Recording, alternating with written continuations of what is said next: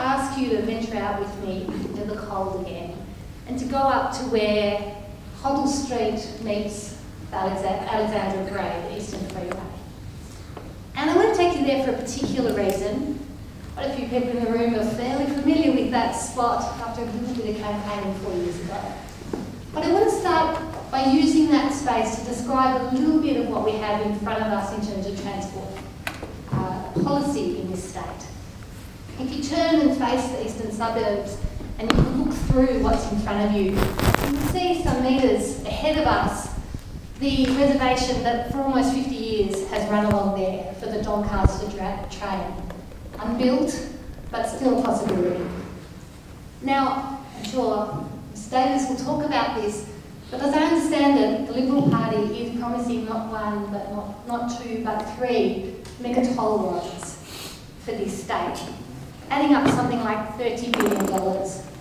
And one of the things that they're going to do is run the North East Tollway, partway down the eastern, and then too scared to actually bring the east, bring the east-west tunnel right back into the seat of Richmond, because I think we scared them off last time. They're going to run a huge tunnel somewhere to take people out onto the other side of town.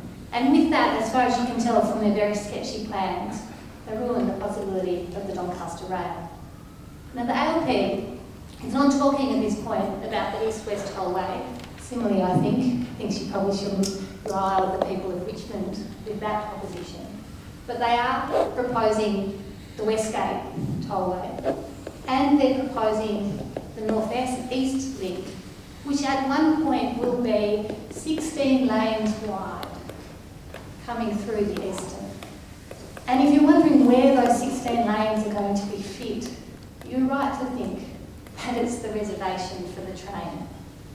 Now I mentioned those two examples, and I'll talk in a minute about the Greens vision, because it shows very literally what we see with road planning and public transport planning in this state. Those roads will literally take away the possibility of the Doncaster Rail. But we also know that billions of dollars spent on new tollways generally takes away from the possibilities for public transport, for bikes and walking. And of course there is another way. Now I don't want to suggest that there's no public transport being offered by the Labor and Liberal parties. But increasingly and overwhelmingly, it's ad hoc, reactive, it's like something you get in your Christmas stocking.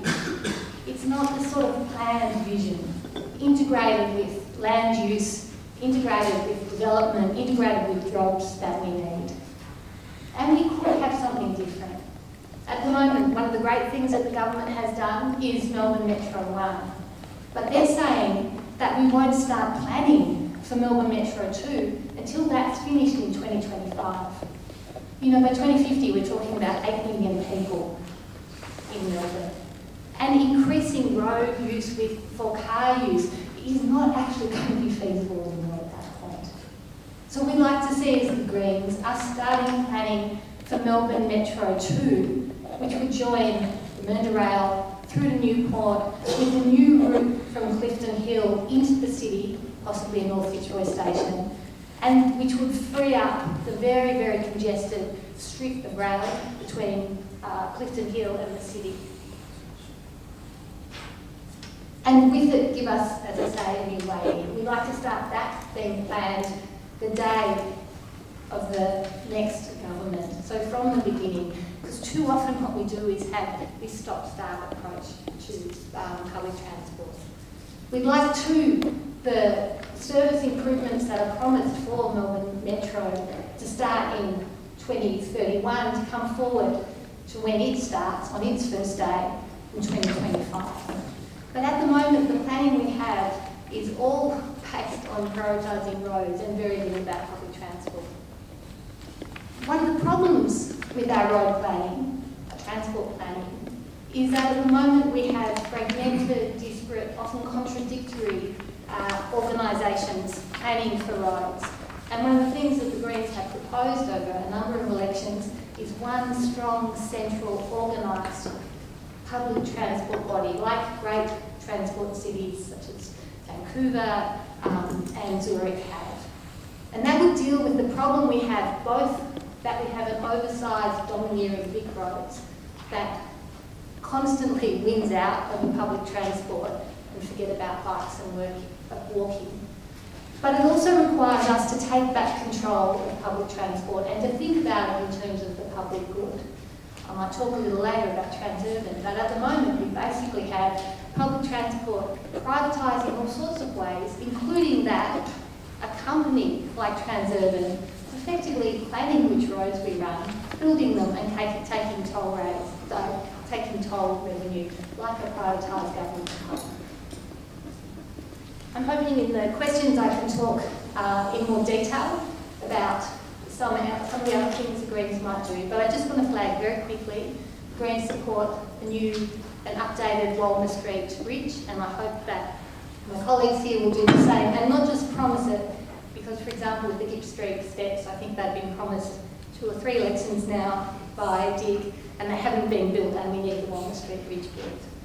I'd also like to challenge the Planning Minister here today to go a little bit outside our area and commit to protecting the sacred trees on the Western Highway, some of them up to 800 years old. Another example of roads gone mad. Now this seat, seat of Richmond, is an ultra-marginal seat. And you can send an incredibly strong message about what you think should happen on public transport through your vote here. And in a very finely balanced government, where the LP is in government by just one seat, there's a real chance that if you turn this area green, we can be in the balance of power, negotiating for better public transport. So I'm really looking forward to hearing from uh, our other representatives here and answering your questions. And I want to really urge you to think about a vision for transport that's bigger and bolder than what we have now and that delivers for Victorians. Thanks.